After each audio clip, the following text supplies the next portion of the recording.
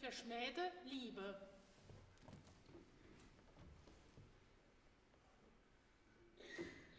Betrifft Gedicht Vertonung.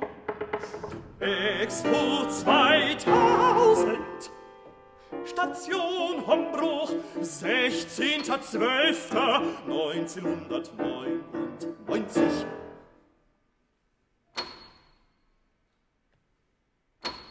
So geirrter, sehr geirrter Herr, sehr geirrter, sehr, sehr geirrter Herr.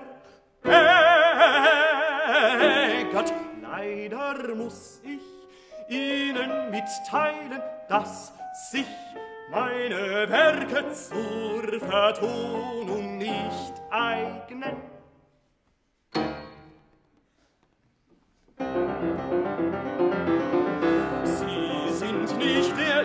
Der mit einem solchen Ansuchen an mich herantritt.